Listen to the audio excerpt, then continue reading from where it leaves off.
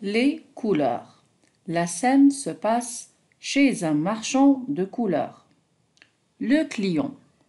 Bonjour, monsieur. Je voudrais de la peinture bleue, s'il vous plaît. Le marchand. Vous voulez du bleu marine ou du bleu ciel? Le client. Je ne sais pas, moi. Lequel coûte le moins cher? Le marchand.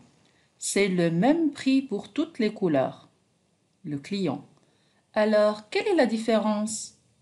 Le marchand. Ben, ce n'est pas le même bleu. Le client. Oh là là, c'est compliqué. Vous n'avez pas du bleu tout simple? Le marchand. Non, c'est du bleu ciel ou du bleu marine. Le client. Ça ne va pas. Vous avez du jaune? Le marchand. Impatient. J'ai du jaune citron et du jaune d'or. Le client. Non, non, non. Je veux une couleur simple. Et du blanc. Vous en avez? Le marchand.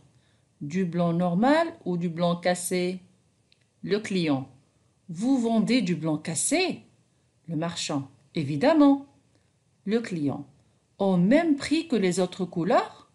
Le marchand surpris. Bien sûr. Le client. Mais s'il est cassé, c'est qu'il n'est pas solide. Il faut le vendre moins cher. Le marchand, amusé. Mais non, monsieur, blanc cassé, c'est juste le nom de la couleur. Le prix ne change pas. Le client, scandalisé. Eh bien, bravo. Alors, pour vous, le blanc d'œuf et le blanc de poulet, c'est le même prix. Et les oranges, et les marrons, et les roses, c'est le même prix aussi Allez donc demander à l'épicier en face vous verrez ce qu'il vous dira. Bonne lecture